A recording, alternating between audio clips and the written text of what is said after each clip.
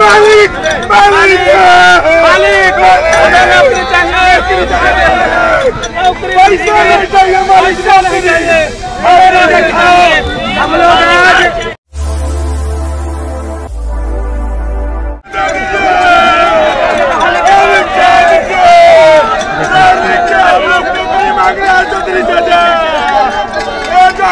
देखिए भिक्षाटन में। नौकरी दीजिए चौधरी चाचा क्वालिटी कैसे चाहिए बिहार को। शिक्षा दो शिक्षा दो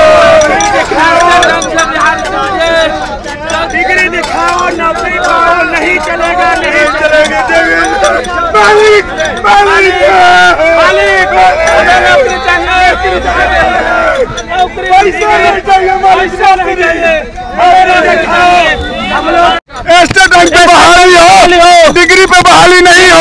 न चले चौधरी चाचा बहाली पे ना हो। जाहिल और बददिमाग शिक्षकों की नियुक्ति न हो अगर मानसिक रूप से विकलांग शिक्षक बन जाएगा मानसिक रूप से विकलांग बना देगा।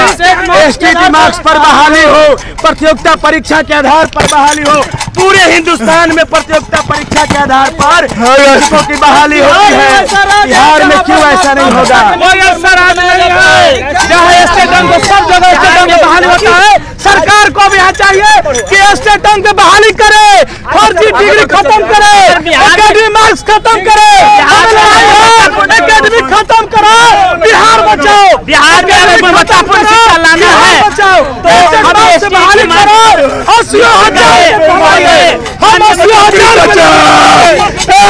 बैंक बहाली की जाओ चौधरी चाचा ए, चौधरी चाचा डिग्री पर बंद कीजिए बहाली है चौधरी चाचा।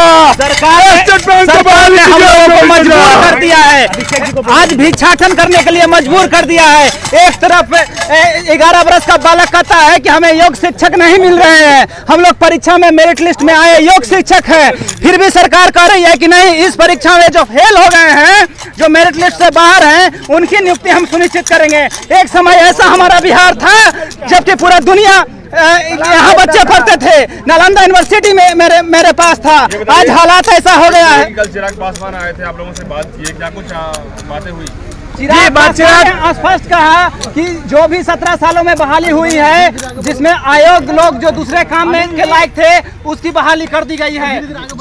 देखिए, हम लोग चाहते हैं कि बिहार में शिक्षा की गुणवत्ता सुनिश्चित हो। हमारे अपर मुख्य सचिव शिक्षा विभाग ने भी ये संकेत दिया है कि हम लोग शिक्षा की गुणवत्ता पे काम करेंगे।